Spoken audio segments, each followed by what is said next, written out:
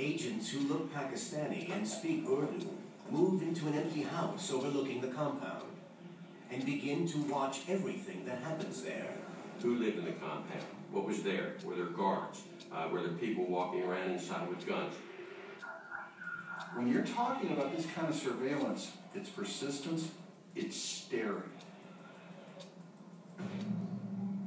It's 24 7.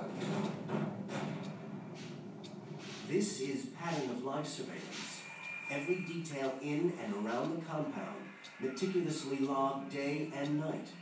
Maybe you could follow them out to the grocery store and find out which vendor is actually supplying them. It's a painstaking process of accumulating evidence.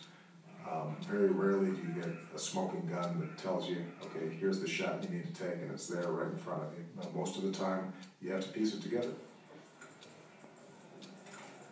They discover that Al Kuwaiti and his